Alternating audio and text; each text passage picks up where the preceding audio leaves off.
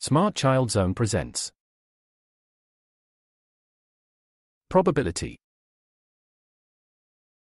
What is probability?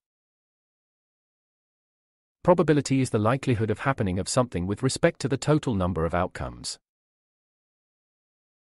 For example, what is the likelihood that when flipping a coin, it will land on tail? The probability of an event occurring is given as number of favorable outcome divided by number of possible outcome. For example, suppose you throw a die numbered from 1 to 6. Count all the possible numbers you can get. This is called number of possible outcomes.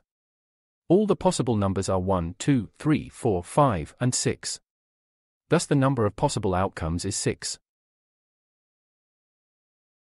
Example 1 What is the probability of picking a circle from the box? Answer. First you write the number of circle, which is 2. Then you draw a line. Then you write the total number of shapes below it, which is 5. So the answer is 2 over 5. Example 2 What is the probability of choosing a blue card here?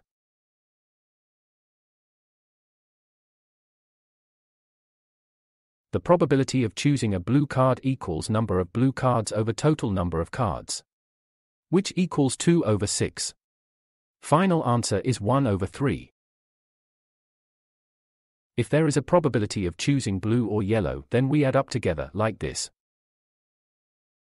The probability of choosing a blue card is 2 out of 6 plus the probability of choosing a yellow card which is 1 out of 6. Therefore, adding up gives you 3 over 6, and further division makes it 1 over 2. For more videos and other useful materials, Visit us at www.smartchildzone.com forward slash videos. Register your child and have access to our unlimited number of question and answer exercises.